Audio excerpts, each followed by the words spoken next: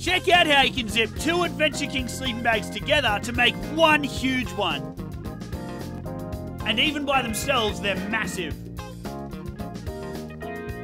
You'll never stay awake because you're too cold again. Our swags have a negative 2 rating. Let's see what our customers say.